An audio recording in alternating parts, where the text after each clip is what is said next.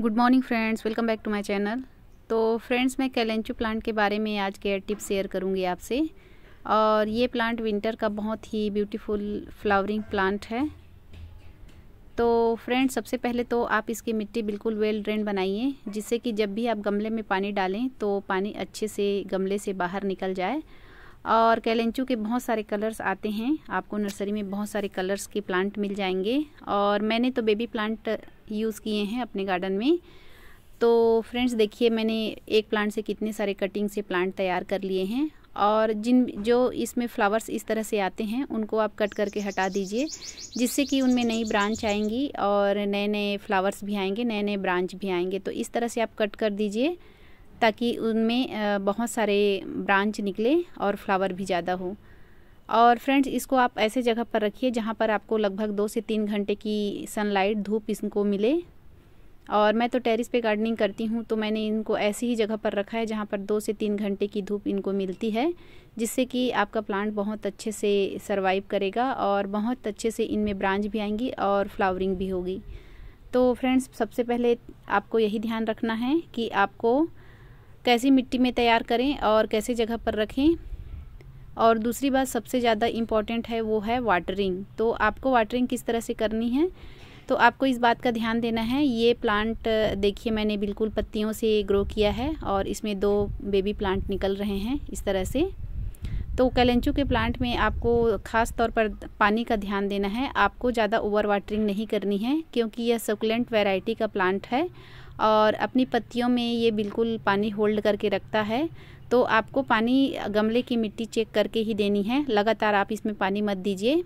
जब इसके गमले की एक से डेढ़ इंच की मिट्टी जब सूख जाए, तब इनको आप पानी दीजिएगा। और इस तरह से देखिए मेरे प्लांट और आपको बहुत सारे कलर्स तो मिल ही जाएँगे।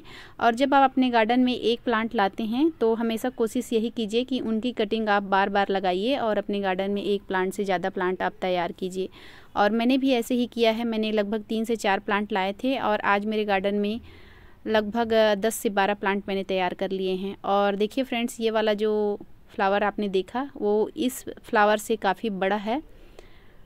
और सभी की पत्तियाँ बिल्कुल अलग अलग हैं। हाइब्रिड जो कैलेंचू है, उनमें जल्दी फ्लावरिंग होती है। और कैलेंचू की सबसे ख़ास बात बताना चाहूँगी आपको कि ये कटिंग से बहुत आसानी से ग्रो हो जाती है और कटिंग से लगे हुए प्लांट में बहुत जल्दी फ्लावरिंग होती है। क्योंकि मैंने अपने गार्डन में खुद देखा है, मैंने बहुत सारे कटिंग से प्लांट तैयार किए हैं और उनमें बिल्कुल छोटे छोटे प्लांट ही हैं और उनमें फ्लावरिंग शुरू हो गई है। तो कटिंग से लगाया हुआ प्लांट जल्दी फ्लावरिंग करता है। तो इस तरह से देखिए, और ये मेरा प्लांट का देखिए फ्लावर कितना खूबसूरत, ये काफ़ी दिनों बाद खिला है। तो इनमें देसी वैरायटी भी आते हैं, और ये वाले फ्रेंड्स मेरे देसी वैरायटी ही हैं हाइब्रिड नहीं है, क्योंकि काफ़ी दिनों बाद इनमें फ्लावरिंग हुई है। और बाकी सारे फ्लावर्स मेरे जो हाइब्रिड वाले हैं, उनमें बहुत अच्छी फ्लावरिंग काफ़ी दिनों से चल रही है। और ये अभी फ़र्स्ट टाइम फ्लावरिंग कर रहा है, जबकि मेरे हाइब्रिड कैलेंचू हैं, वो सेकेंड शिफ्ट में फ्लावरिंग कर रहे हैं। और फर्टिलाइज़र की बात करते हैं फ्रेंड्स तो मैं अपने इन प्लांट को वर्मी कंपोज सबसे पहले देती हूँ पाउडर फार्म में, सिर्फ़ वर्मी कंपोस्ट और उसके बाद सेकेंड बार मैंने इनको दिया है सरसों खली और नीम खली का लिक्विड फर्टिलाइज़र जो मैं 10 से 15 दिनों के बीच में इनको देती हूँ। और आप चाहें तो इनको एन पी के नाइनटीन भी दे सकते हैं, जिससे कि इनमें अच्छी फ्लावरिंग होगी।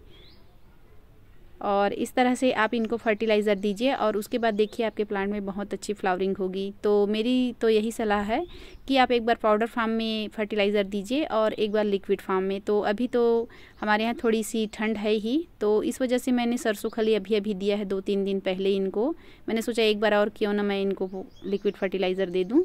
तो आप इनको लिक्विड फर्टिलाइज़र दे सकते हैं, जो सरसों खली का लिक्विड बनाते हैं, उसमें आप चाहें तो N P K nineteen nineteen भी मिला सकते हैं, जिससे कि आपके प्लांट में बहुत अच्छी फ्लावरिंग होगी।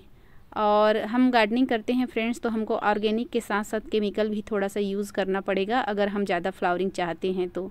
तो फिर मिलती हूँ फ्रेंड्स बाय बाय